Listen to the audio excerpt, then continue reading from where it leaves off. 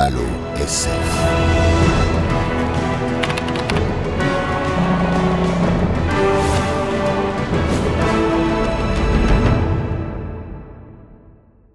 Halo Infinite.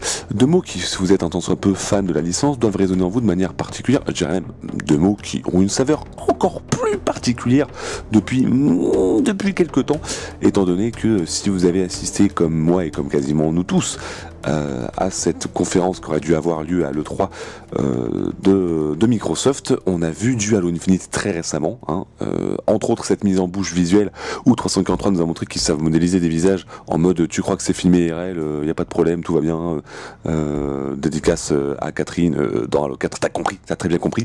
Bref, graphiquement il se passe des choses, mais surtout on a eu, et ça s'était prévu, du gameplay de la campagne, à commencer par la diffusion de ça, de ce qu'on voit à l'écran le, menu, hein, l'écran titre théoriquement. Alors est-ce que c'est le définitif, on ne sait pas, mais ce qui est sûr c'est que c'était très beau.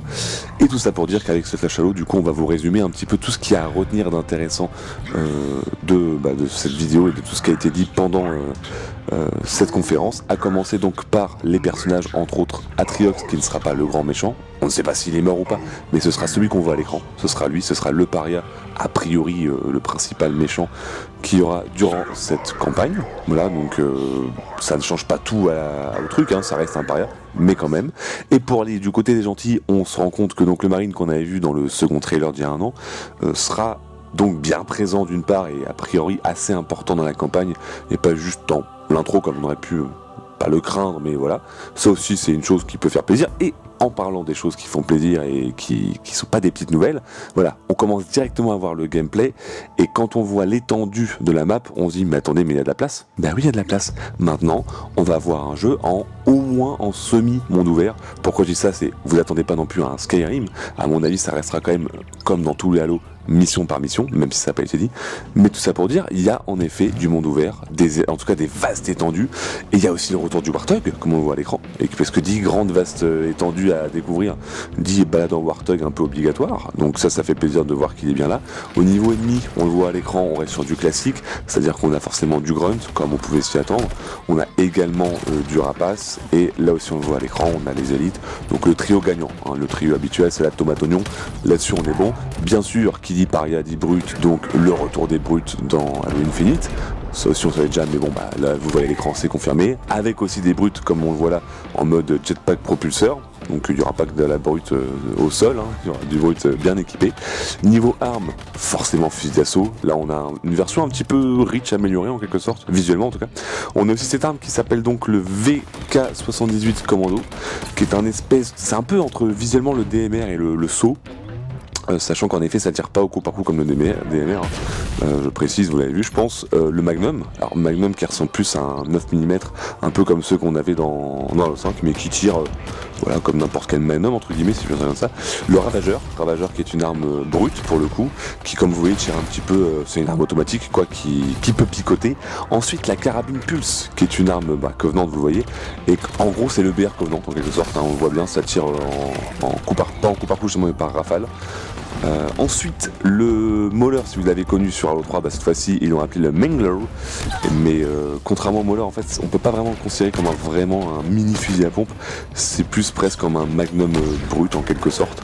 En parlant d'armes qui font bien mal, le Bulldog, qui est un espèce de fusil à pompe de l'UNSC, mais un, peu vénère. On voit bien, là, c'est assez vénère. grenade fragmentation de retour, c'est logique. Hein. Et pour ce qui est des grenades, forcément, grenade collante, elle est toujours de la partie. Et forcément, qui dit brut dit les grenades spike, euh, qui ont toujours le même effet qu'avant, elles skull et, et euh, elles explosent un peu comme une grenade plante. À ce niveau-là, pas de gros changements majeurs. Par contre, pour les armes qu'on n'a pas vues en action mais qu'on a vu rapidement pendant le trailer, il y a eu donc l'épée énergie et le BR avec son petit skin quasiment Halo 3 qui fait plaisir. Pour ce qui est des habilités, on a forcément le sprint, on pouvait s'y attendre hein, maintenant avec Halo, mais euh, c'est de retour. Euh, cette habilité qui nous permet en fait de nous hisser au-dessus de certaines surfaces comme dans Halo 5 est aussi de retour donc dans Halo Infinite, hein, comme vous voyez à l'écran. Euh, et aussi, voilà, alors je sais pas si c'est vraiment une roulade, une glissade, enfin c'est plus une glissade, mais voilà, en tout cas cette espèce de glissade qu'on pouvait avoir dans le 5 est de retour aussi. Et maintenant, pour ce qui est des équipements pour terminer, on, voit on vient de le voir, Master Chief vient de ramasser une espèce de bouclier euh, qui en fait nous permet à la fois d'être protégé et de tirer à travers. donc un bouclier qui à mon avis peut s'avérer assez euh, pratique dans le jeu. Une espèce de grenade en quelque sorte électrique. Alors est-ce qu'il faut le considérer comme une grenade? Ou si c'est vraiment un équipement à part, on sait pas. Mais ce qui est sûr, c'est que ça fait mal apparemment visuellement. Et pour terminer, en termes d'équipement, la grosse nouveauté euh, de ce Halo Infinite, c'est ce grappin. Voilà, ce petit grappin qui va à mon avis un peu changer la donne sur le jeu en termes de gameplay. en tout cas pour la campagne, hein, le multi on n'en sait rien. Mais le gameplay qui va permettre non seulement de se déplacer comme ça, mais voilà aussi de ramener des objets à soi.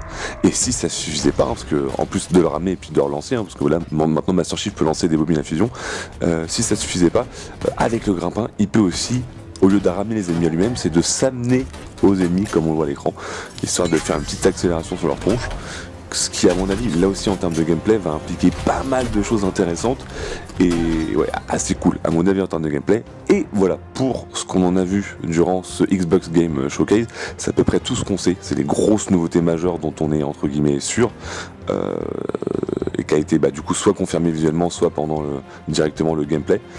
Euh, donc voilà pas mal d'armes de retour comme on peut s'y attendre. Les ennemis principaux de retour on a, c'est du Halo. Là-dessus, il n'y a pas de souci, c'est du Halo. Après, on va pas épiloguer sur les euh, graphismes. Euh, ça pourra potentiellement faire l'objet euh, d'une autre vidéo, sachant quand même que si on fait bien le comparatif, cette espèce de trailer qu'on vous diffuse actuellement pour cette fin de vidéo est sorti après les 8 minutes de gameplay de campagne qui a été proposé par 343. Et des joueurs se sont entre guillemets plaints euh, des graphismes qu'il y avait durant, ces 8 minutes de gameplay. Et quand on compare image par image certaines séquences de cette, euh, ce petit trailer qu'on a à l'écran, euh, a priori en fait c'est con hein, mais il se serait juste chié sur le rendu de la vidéo postée pour la démo de campagne et les, graphismes plus représentatifs du jeu ce serait plus ceux qu'on voit là depuis quelques, quelques une minute à peu près. Voilà, c'est une info à prendre avec des pincettes parce que pour l'instant euh, on n'a pas assez de recul sur le truc.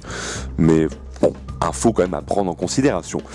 Bah voilà, bah, j'espère que ce flash halo vous aura permis de remettre un peu les pendules à l'heure et de savoir en gros ce qu'il y a à envisager et à prendre en compte pour Halo Infinite à l'heure actuelle. Et puis bah bien sûr, pour l'instant, on n'en sait rien sur le multijoueur et tout, mais on ne manquera pas de vous donner des nouvelles dès qu'on pourra vous en donner. D'ici là, portez-vous bien, que la hype soit avec vous. Bisous, ciao bambino, et prenez soin de vous, d'accord. Allez, bisous